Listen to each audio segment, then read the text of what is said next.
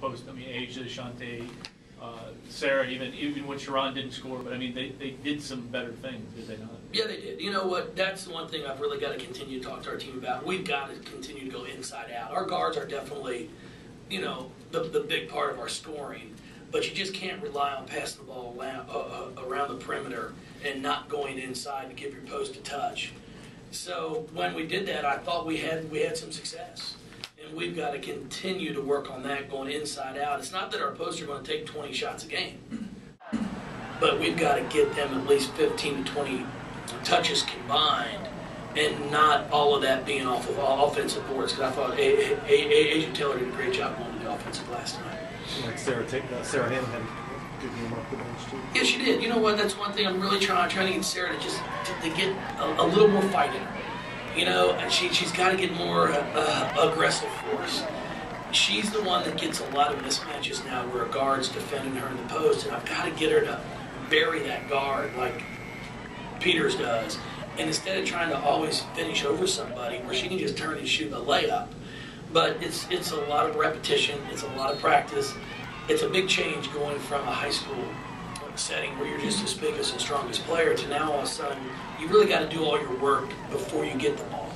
And you know I'm really excited for her because I've seen a lot of growth from her, and a lot of progress, and we just need to c- continue that in, in order for our team to succeed. Two more games, just thought on where you're at, going into the last, you know, week. Two more days games. Before the conference tournament. All I know is we play on Saturday. I, I'm not even worried about this, the, the next one, but it's uh, it's amazing to me how fast a year goes by. Uh, you know, we started off the year with uh, aspirations of going to a Final Four, and you know those are still our goals. But when you lose Tia Gibbs and then Mo- Monique, we've lost a big punch of our scoring.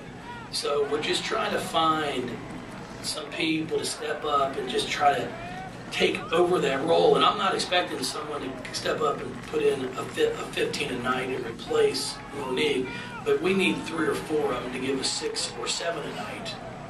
And then we can make up for that. And we, we, we just really miss Tia's leadership.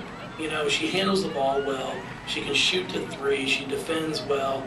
And, you know, I'm challenging Bria to be able to do that. And that's a lot to ask for a freshman. Is there any extra motivation because of the DePaul game and the last DePaul game?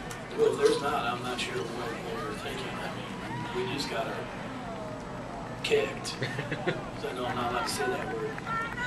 But I did it the other day. I wasn't supposed to. But, I mean, we, we got embarrassed. So if you can't come out, you know, we'll take tomorrow off because we, have, we ha- ha- have to take a day off, unfortunately. Um, then we'll practice on Wednesday and get after it. If you can't be excited to come out and play DePaul after what they did to us up there, then we've got the wrong players. Uh, I know that they're they're going to be excited. I know that we're going to come out here and uh, you know it's a senior night for Becky Burke that's had a great career. Uh, you know, and, and I'm looking forward to sending her out on a, on a good note.